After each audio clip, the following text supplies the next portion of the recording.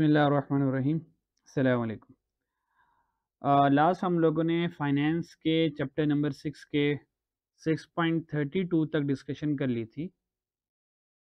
तो इस वीडियो में हम 6.33 से ऑनवर्ड जो है आ, कुछ न्यू क्वेश्चंस को डिस्कस करेंगे। ठीक है जी? सबसे पहले डिस्कस करते हैं 6.33 को।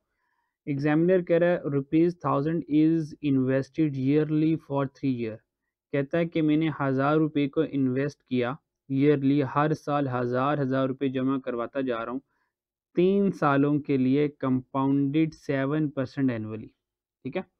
यानी कि हर साल, तीन साल तक सात परसेंट के हिसाब से मैं हज़ार रुपये इन्वेस्ट कर रहा हूँ। फिर कह रहा है for the next two year अगले दो सालों में फाइव परसेंट कंपाउंडेड एनुअली मुझे मिलेगा। और पाँच लाख रुपए पाँच साल के आखिर में मुझे मिलेंगे। Then find the amount invested in last two years बताएँ आखिरी दो सालों में, जिस साल में मुझे फाइव परसेंट इंटरेस्ट मिलेगा, बताएँ आखिरी दो सालों में, पहले तीन साल तो हर साल हज़ार हज़ार रुपये जमा कर रहे हैं ना? तो आखिरी दो सालों में वो कितने पैसे जमा करवाए कि पाँच साल बाद वो पाँच लाख रुपये रिसीव कर ले, ठीक है? तो इस क्वेश्चन को समझने के लिए हम क्या करते हैं, टाइमलाइन बना लेते हैं। तो टाइमलाइन हेल्प करेगी क्वेश्चन को सॉल्व करने में। तो ये जो क्वेश्चन में इंग्लिश लिखी है, इस सारी इंग्लिश को हम मैथमेटिकल फॉर्म में कन्वर्ट कर लेते हैं, ठीक है? ज़ीरो ईयर ईयर वन हो गया, year two, year three, year four और ईयर फाइव, ठीक है? तो वो कह रहा है कि पाँच साल के आखिर में पाँच लाख रुपए मिल जाएँगे। ये हमने पाँच लाख रुपए लिख लिए, ठीक है? और उसने कहा कि हर साल वो हज़ार हज़ार रुपये जमा करवा रहा है, हज़ार हज़ार रुपये जमा करवा रहा है। ठीक है? ये जो हज़ार हज़ार रुपये जमा करवा रहा है, ये सेवन परसेंट कंपाउंडेड एनुअली है। फिर उसने पूछा कि चौथे साल बताएँ क्या अमाउंट जमा करवाऊं और पाँचवें साल क्या अमाउंट जमा करवाऊं, उसने ये पूछ लिया हमसे। तो इसको एक्स कर लेते हैं। ठीक है? और इन दो सालों में जो रेट ऑफ़ इंटरेस्ट वो कह रहा है मिलेगा, वो फाइव परसेंट कंपाउंडेड एनुअली है। ठीक है? और यहाँ से हमें ये एक्स अमाउंट चाहिए। ठीक है? तो ये मेरी कुछ कहानी है।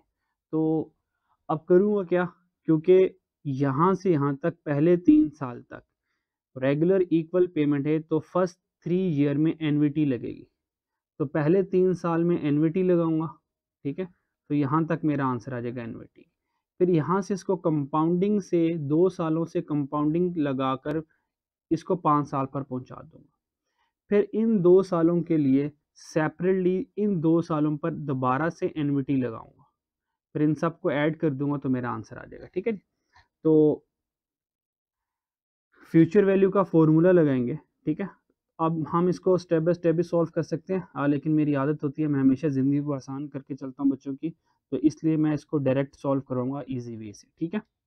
अच्छा जी तो इसका मतलब फ्यूचर में पाँच लाख रुपए मिलने हैं तो फ्यूचर वैल्यू का फॉर्मूला लगेगा एनवीटी का फ्यूचर वैल्यू का फॉर्मूला लगेगा ठीक है? तो फ्यूचर वैल्यू का फॉर्मूला आप लोगों को पता है future value is equal to regular payment और उसके बाद one plus I to raise power N minus one over I, ठीक है? ये फ्यूचर वैल्यू का फॉर्मूला होता है तो हम ये वाला फॉर्मूला लगाएँगे, ठीक है जी? अच्छा जी। फ्यूचर वैल्यू कितनी? फाइव लैख तो यहाँ पे फाइव लैख रुपीज़ पाँच सालों में मुझे मिलने। पहले तीन सालों में रेगुलर इक्वल पेमेंट आर क्या? थाउज़ेंड है तो यहाँ पर आ जाएगा थाउज़ेंड आ जाएगा, ठीक है? अच्छा जी, फिर वन प्लस सेवन परसेंट तीन सालों के लिए सात परसेंट मिलना है तो one plus point zero seven to raise power three, तीन साल है, माइनस वन करूँगा, पॉइंट ज़ीरो सेवन यहाँ पर लिख दूँगा, ठीक है जी? तो ये हमारे पास एनविटी लगी, यहाँ से लेके यहाँ तक, ये इन तीन सालों की एनविटी लगी मेरे पास। फिर इसको दो सालों से कंपाउंडिंग पर लेके चलना है तो क्या करेंगे, साथ ही मैं यहाँ पे कंपाउंडिंग लगा दूँगा। कंपाउंडिंग में वन प्लस अब फाइव परसेंट रेट आ गया तो यहाँ पे ज़ीरो पॉइंट ज़ीरो फाइव, तीन साल के लिए एनविटी लग गई, अगले दो सालों के लिए कंपाउंडिंग लगेगी तो ये फाइव ईयर बन जाएँगे इस वन थाउज़ेंड के लिए, ठीक है? उसके बाद क्या करूँगा? फर्दर एडिशन करूँगा।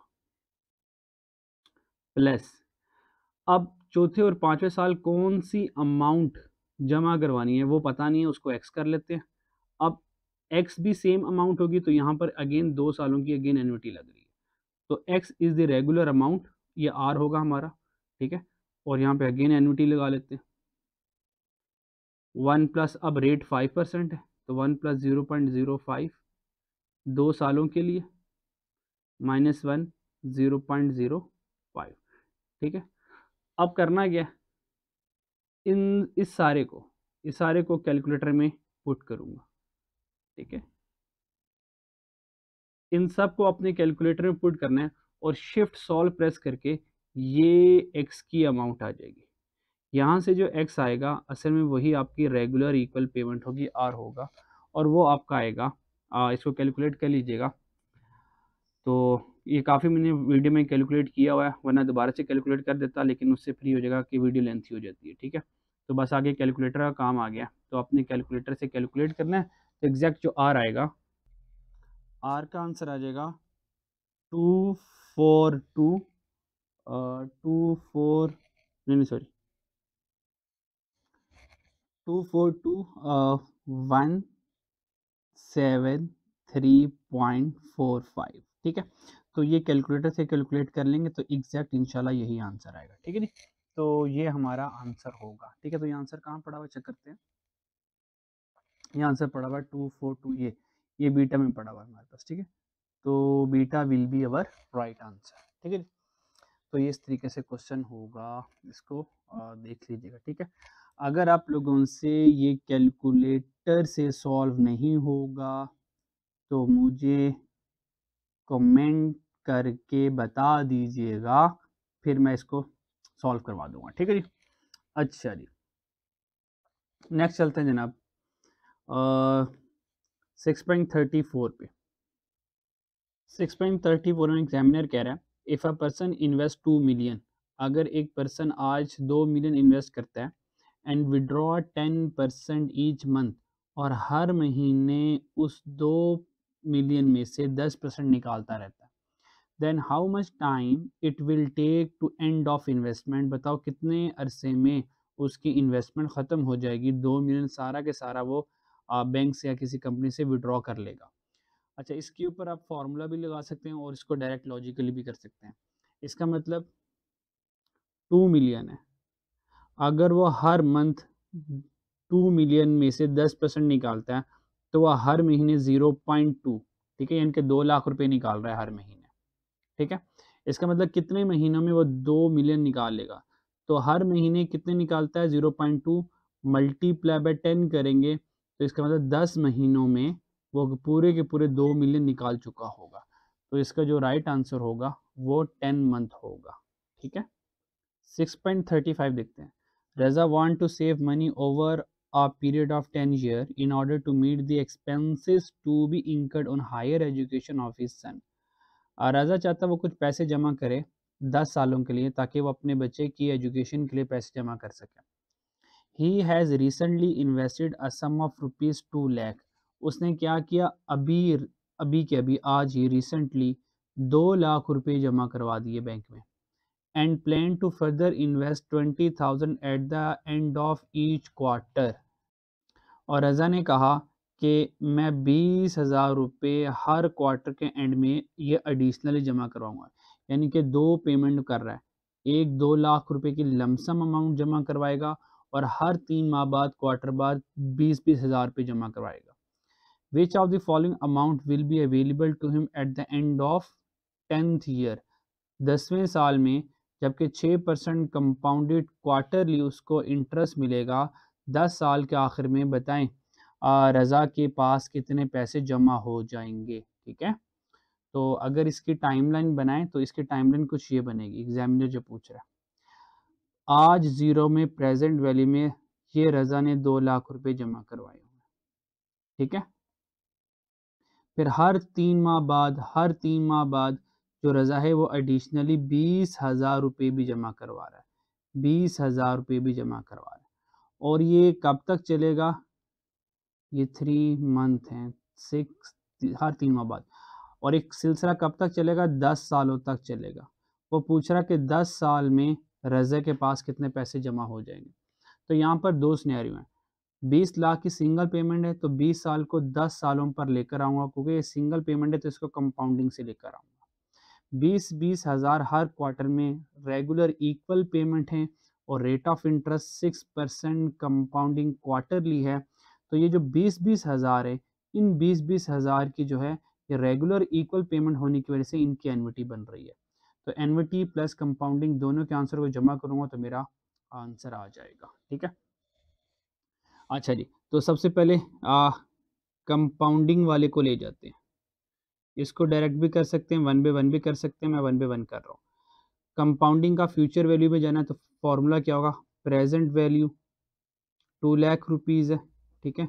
One plus zero point zero six ये रेट ऑफ़ इंटरेस्ट हो गया, क्योंकि क्वार्टरली है तो डिवाइडेड बाय फोर करूँगा पावर में फोर इंटू टेन ईयर्स हैं इंटू टेन कर दिया। तो यहाँ से हमारे पास एक आंसर आ जाएगा, ठीक है जी? क्लियर अच्छा जी। आ, जो भी आंसर आता है देख लेते हैं क्या आंसर आता है अभी। तो इसका आंसर आ जाएगा three six two eight zero three rounding करके ज़ीरो फोर बन गया। ठीक है जी? अब चलते हैं एनविटी लग गई। एनविटी लगाते हैं इन बीस बीस हज़ार की। तो बीस बीस हज़ार की एनविटी बनेगी फ्यूचर वैल्यू तो ये मेरे पास आर आ गया।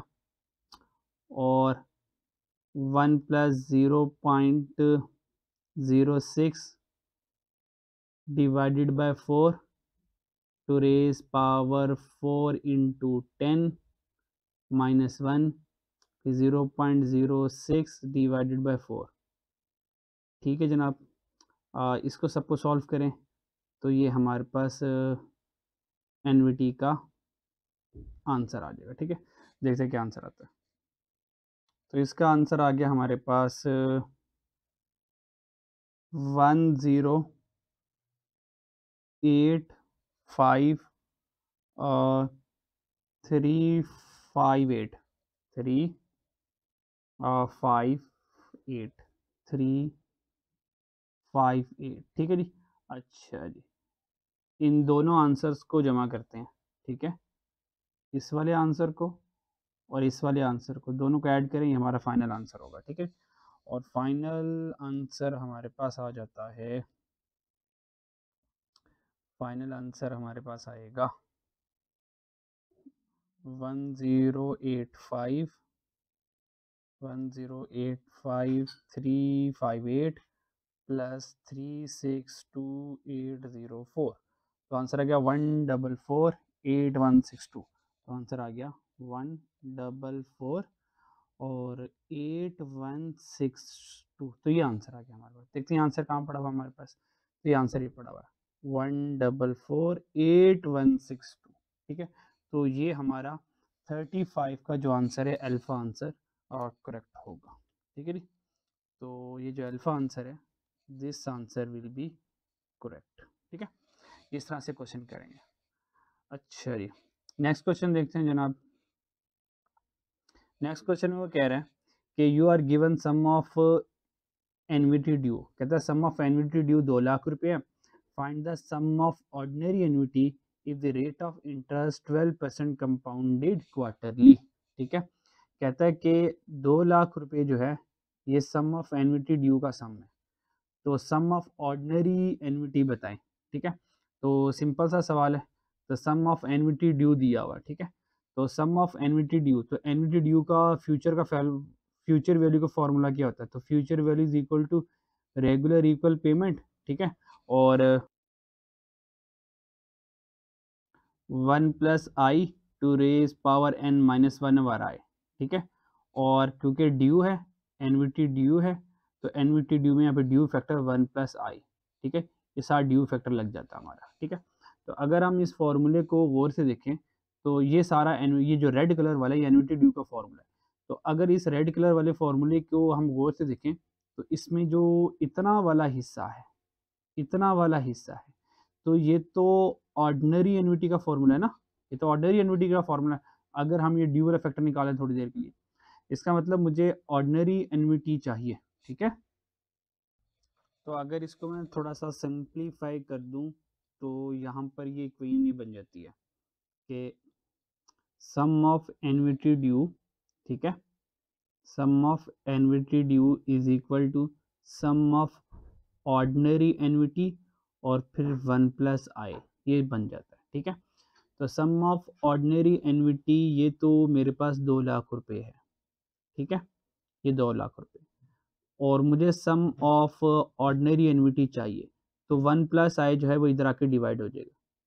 तो वन प्लस आई को डिवाइड करने के लिए वन प्लस आई आई कितना ट्वेल्व परसेंट है ना? तो twelve percent mean zero point one two. क्योंकि क्वार्टरली है तो डिवाइडेड बाय फोर कर दूँगा। तो सिंपल करना क्या? Two lakh divided by, two lakh divide by one plus point one two divide by four करेंगे तो सम ऑफ़ ऑर्डनरी एनविटी आ जाएगा, ठीक है? और जब आप इसको कैलकुलेट करेंगे तो आपके पास सम ऑफ़ ऑर्डनरी एनविटी का आंसर आ जाएगा one nine four one seven five, ठीक है? तो इसको कैलकुलेटर से कर लीजिएगा, ठीक है? सिंपल इन दोनों को आपको डिवाइड करना है। तो आपका आंसर है one nine four one seven five. तो one nine four one seven five तो इसका जो राइट right ऑप्शन होगा वो beta option is the right answer ठीक है जी? अच्छा जी। दो क्वेश्चन हमारे पास रह गए हैं। थर्टी सेवन वाले क्वेश्चन में वो कह रहा है कि टू कंपनीज़ की इन्वेस्टमेंट है कंपनी ए और कंपनी बी की। Find the rate at which net present value both company will be same ये क्वेश्चन हमने पहले भी ऊपर सॉल्व किया हुआ है कि करना क्या इसमें? Net present value company A की इक्वल कर देनी है। Net present value company B की ठीक है? फिर दोनों को क्या करना है? कैलकुलेटर में वैल्यूज़ पुट करने के बाद उनका रेट कैलकुलेट कर लेना है और वो आंसर होगा। ठीक है जी तो हमने पहले भी किया है। होप सो आप लोग ये क्वेश्चन कर लेंगे। ठीक है? ये तो मैं डिज़ाइन बना देता हूँ। आप लोग सॉल्व कर लीजिएगा। तो इस क्वेश्चन को सॉल्व करने के लिए हम क्या करेंगे? लैक लैक कॉमन ले लेंगे। हर में से वन लैक कॉमन ले लेंगे। ठीक है? अच्छा जी। तो सबसे पहले कंपनी ए की प्रेजेंट वैल्यू लिखते हैं। तो कंपनी ए की प्रेजेंट वैल्यू क्या बन जाएगी? Six, one plus I to raise power minus one, plus nine, one plus I to raise power minus two, plus twelve, और one plus I to raise power minus three. ये company A की present value होगी। ठीक है? अब क्या करेंगे? इसको इक्वल करेंगे और कंपनी बी की प्रेजेंट वैल्यू लिखेंगे। लैक कॉमन लेना six, one plus I to raise power minus one, plus और लैक कॉमन लिया यहाँ से। तो बन जाएगा सेवन पॉइंट फाइव। क्या बन जाएगा? Seven point five. तो यहाँ से बन जाएगा seven point five, one plus I to raise power, दूसरा साल है तो minus two. Plus eight point five into one plus I to raise power minus three. Plus nine, one plus I to raise power minus four. ठीक है? तो सारी values को लिख ली। अब इन सारी वैल्यूज़ को क्या करना है? अपने कैलकुलेटर में पुट करना है। तो कैलकुलेटर में पुट करके शिफ्ट सॉल्व वाले तरीके से तो आपका जो बैलेंस होगा वो रेट ऑफ़ इंटरेस्ट आ जाएगा, ठीक है? और यहाँ से जो रेट ऑफ़ इंटरेस्ट का आंसर आएगा वो आपका 54.65 परसेंट यानी कि चार्ली आंसर आएगा, ठीक है? अगेन अगर ये आप लोगों से कैलकुलेटर से ना हुआ तो कमेंट्स में मुझे बता दीजिएगा, फिर इंशाल्लाह इसका एक और इलाज बताऊँगा आपको, ठीक है? अगर हो जाए तो well and good last question of the day a research foundation was establish by a fund five lakh invested at the rate that would provide rupees twenty thousand payment at the end of each year for कहता है कि research foundation ने एक fund जारी किया, ठीक है, पाँच लाख का था, और बीस हज़ार पेमेंट हर साल के एंड में की जाएगी फॉर एवर हमेशा हमेशा के लिए। अगर फॉर एवर आ गया, इसका मतलब ये परपेचुटी का क्वेश्चन आ गया। What interest rate was being earned on fund तो पाँच लाख की इन्वेस्टमेंट के ऊपर हम क्या रेट ऑफ़ इंटरेस्ट अर्न करेंगे? इसका मतलब ये परपेचुटी का क्वेश्चन आ गया तो परपेचुटी का फॉर्मूला था परपेचुटी की present value is equal to capital R over I ये फॉर्मूला होता है। प्रेजेंट वैल्यू कितनी? फाइव लैख तो यहाँ पे हम फाइव लैख पुट कर देंगे। अच्छा रेगुलर इक्वल पेमेंट कितनी मिलनी है? बीस हज़ार तो यहाँ पर आ जाएगा बीस हज़ार। रेट ऑफ़ इंटरेस्ट कितना मिलना है? वो हमें फाइंड करना है। तो रेट ऑफ़ इंटरेस्ट क्या करना है? हमें फाइंड करना है। ठीक है जी? तो रेट ऑफ़ इंटरेस्ट फाइंड करने के लिए यहाँ पर क्या कर देंगे? आई पुट कर देंगे। ठीक है? यहाँ पे या कैलकुलेटर में आप लोग एक्सपुट कर दीजिएगा। तो क्या करें? एक्स इधर आ जाएगा फाइव लाख इधर आ जाएगा। तो ये जो आपके पास एक्स यानी कि जो आई निकलेगा, ये zero point zero four that is four percent बनेगा। यानी कि ऑप्शन जो है, इसमें से जो करेक्ट बनेगी, ये four percent option beta, thirty eight में बीटा ऑप्शन बन जाएगा। ठीक है जी? तो इस तरीके से स्टूडेंट्स आप ये क्वेश्चन करेंगे। ठीक है? तो फाइनेंस के जितने भी क्वेश्चन थे, मैक्सिमम वी हैव डन। ठीक है? इनको अच्छे से प्रैक्टिस कीजिएगा बार बार क्वेश्चन कीजिएगा। अगर कोई प्रॉब्लम हुई तो कमेंट्स में मुझे बता दीजिएगा। ठीक है? फिर कुछ ना कुछ फर्दर इसको देख लेंगे। अपना ख्याल रखिएगा और दोस्तों से और अपने बाकी कोलीग फेलो से शेयर कर दीजिएगा। अल्लाह